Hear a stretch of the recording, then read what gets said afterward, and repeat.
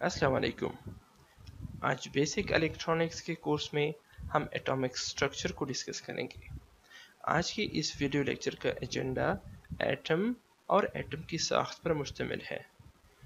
इसके अलावा Bohr model electrons के particles atomic number electrons and shells valence electrons और फाइनली आयनाइजेशन को भी इस लेक्चर में डिस्कस किया जाएगा। I am doctor Shahid Latif and this is my YouTube channel if you have not subscribe my channel yet do it now thank you very much Bohr model of an atom an atom atom है क्या चीज़?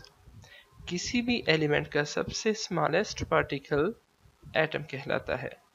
Atom वो particle है किसी भी element का जो उसकी characteristics को मेंटेन रखता है। राउंड अबाउट 118 एलिमेंट्स हैं हमारे पीरियोडिक टेबल में, इनमें से हर एक एलिमेंट का जो एटम है, वो दूसरे एलिमेंट से मुख्तलिफ़ है। यही वजह है कि हर एक एलिमेंट की एक यूनिक एटॉमिक स्ट्रक्चर हो सो बोहर मॉडल क्या है?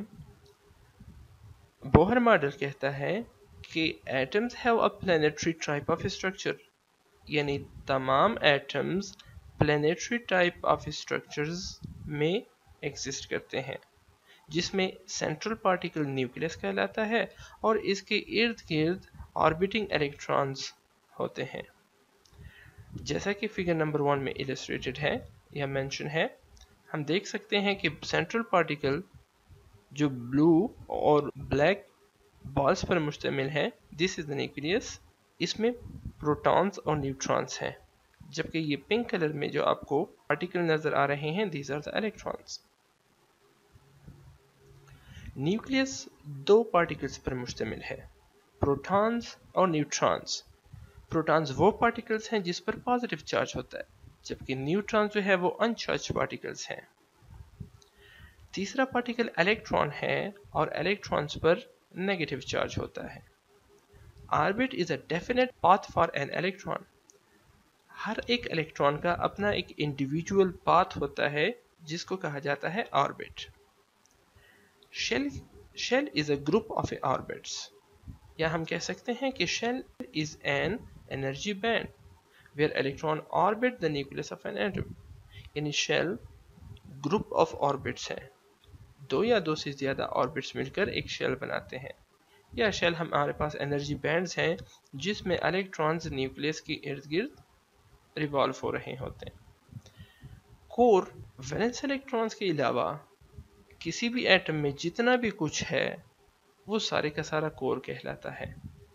Atomic number certain number of electrons and protons in an atom किसी भी एटम के अंदर प्रोटॉन्स या इलेक्ट्रॉन्स की तादाद को एटॉमिक नंबर कहा जाता है। ये एटॉमिक नंबर एक एलिमेंट के एटम को दूसरे एलिमेंट के एटम से डिस्टिंग्विश करता है। फॉर एग्जांपल हाइड्रोजन के एटम में एक प्रोटॉन और एक इलेक्ट्रॉन होता है, जबकि कोई न्यूट्रॉन नहीं होता। इसी तरह से हीलियम के एटम्स में दो प्रोटॉन्स और दो न्यूट्रॉन्स होते हैं, जबकि दो इलेक्ट्रॉन्स होते हैं, जो कि न्यूक्लियस के इर्द गिर्द अपने अपने ऑर्बिट्स में रिवॉल्व हो रहे हैं। सो हम कह सकते हैं कि हाइड्रोजन का एटॉमिक नंबर हीलियम के एटॉमिक नंबर से डिफरेंट है। पीरियोडिक टेबल में तमाम एलिमेंट्स को उनके एटॉमिक नंबर वाइज अरेंज किया गया है।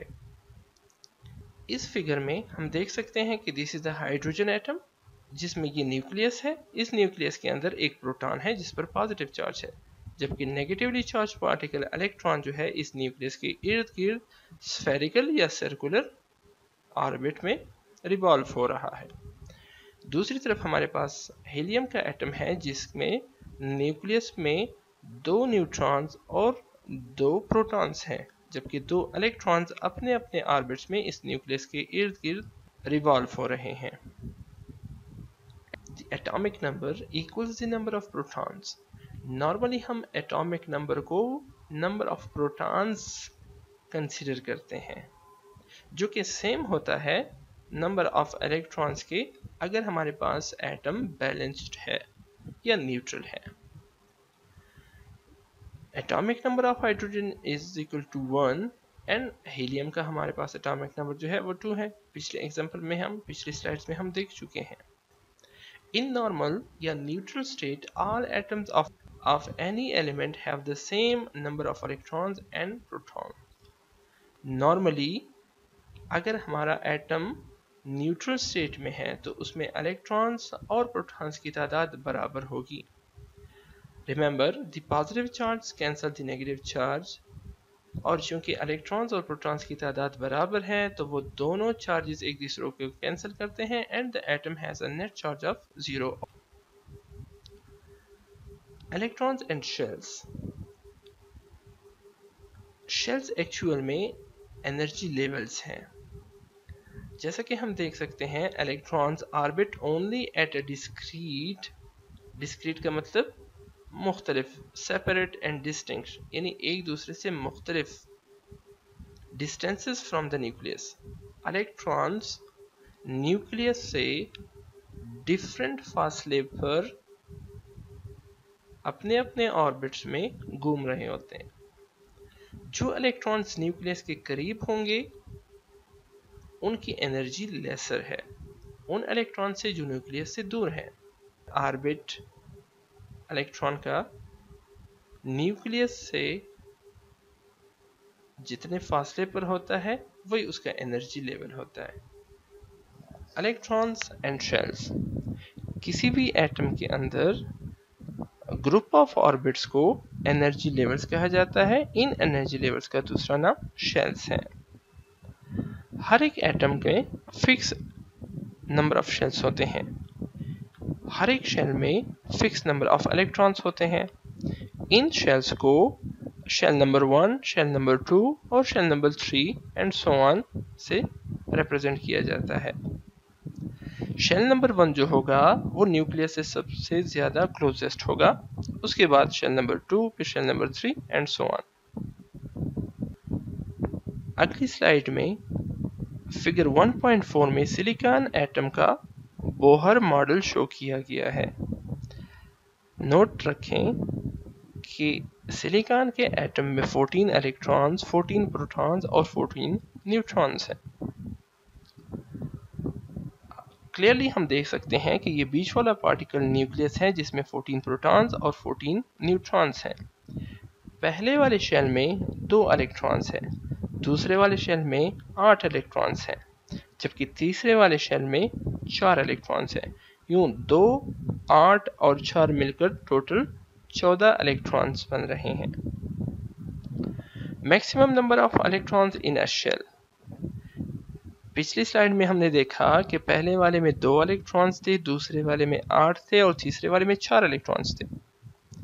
सो एक क्वेश्चन बनता है कि कौन से शेल में कितने मैक्सिमम इलेक्ट्रॉन्स पॉसिबल हैं? ये जानने के लिए दो मुख्तलिफ़ तरीके हैं। एक तरीका तो ये है कि आप हर शेल में इलेक्ट्रॉन्स की तादाद को याद कर लें। आप याद कर लें कि पहले वाले में दो होंगे, दूसरे वाले में आठ होंगे, तीसरे वाले में अठारह होंगे चौथे वाले में बत्तीस होंगे एंड सो ऑन दूसरा तरीका यह है कि आप वीक फार्मूला याद कर लें और इस फार्मूले की मदद से आप किसी भी किसी भी शेल के अंदर इलेक्ट्रॉन्स की तादाद को फाइंड आउट कर सकते हैं। फार्मूला क्या है कि number of electrons in a shell is equal to two n square where n is representing the number of shell इस फार्मूले की मदद से हम मालूम कर सकते हैं कि पहले शेल के अंदर कितने इलेक्ट्रॉन्स पॉसिबल हैं। सो so, अगर हम n की जगह पर वन रिप्लेस कर दें तो वन का स्क्वेयर वन ही होता है and one multiply by two is equal to two so इस फार्मूले की मदद से हमें पता चला कि फ़र्स्ट शेल में हमारे पास दो इलेक्ट्रॉन्स होंगे। थोड़ी देर के लिए इस वीडियो को पास कर लीजिए, और कॉपी पेंसिल की मदद से इन मुख्तलिफ़ शेल में shell number two shell number three shell number four shell number seven और शेल नंबर एलेवन में इलेक्ट्रॉन्स की तादाद मालूम कर लीजिए।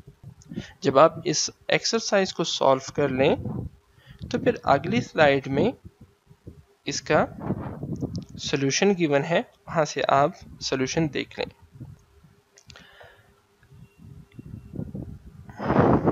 वैलेंस इलेक्ट्रॉन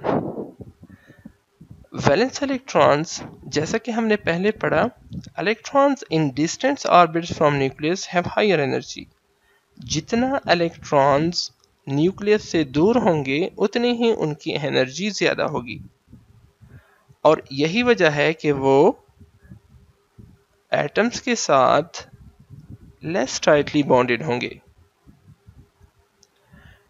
क्योंकि force of attraction between the nucleus and that electron decreases with increasing distance जितना distance बढ़ता जाता है इलेक्ट्रॉन्स का न्यूक्लियस के साथ फोर्स ऑफ़ अट्रैक्शन कम होता जा रहा है।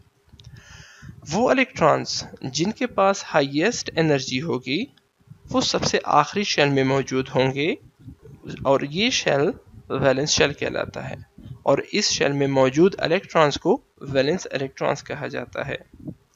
ये वैलेंस इलेक्ट्रॉन्स जितने भी केमिकल रिएक्शंस होंगे या इलेक्ट्रॉनिक बॉन्डिंग होते हैं like ionic bond covalent bond उनमें पार्टिसिपेट करते हैं। इसके अलावा इन इलेक्ट्रॉन्स इन वैलेंस इलेक्ट्रॉन से हमें मटेरियल की इलेक्ट्रिकल प्रॉपर्टीज़ का भी पता चलता है कि क्या वो इंसुलेटर है सेमीकंडक्टर है या कंडक्टर है। जब भी एक इलेक्ट्रॉन काफ़ी सारी एनर्जी किसी भी एक्सटर्नल रिसोर्स से हासिल कर लेगा, ये अपने आप को इस एटम से छोड़ देगा and will become a free electron और यही फ्री इलेक्ट्रॉन आगे फिर मटेरियल में कंडक्शन का बायस बनता है। Ionization the process of losing और गेनिंग वैलेंस इलेक्ट्रॉन आयनाइजेशन क्या है? एक प्रोसेस है जिसमें वैलेंस इलेक्ट्रॉन को लूज किया जाता है या गेन किया जाता है। हम इसके दोनों एक्सपेक्ट्स को वन बाय वन कवर करेंगे। हम कहते हैं when an atom absorb energy from external resources energies of electrons also raised. यानी जब भी कोई एटम एनर्जी एब्जॉर्व करेगा तो इलेक्ट्रॉन्स की एनर्जीज भी रेज होंगी। ये इलेक्ट्रॉन्स आउटर शेल में से, यानी जो वैलेंस शेल होगा, और एटम की जो इन्फ्लुएंस होगी, उससे आज़ाद हो जाएगा।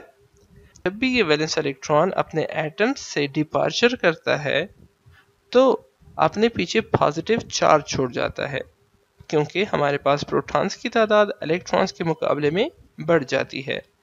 So the process of losing a valence electron is known as ionization इस प्रोसेस को आयनाइजेशन कहते हैं।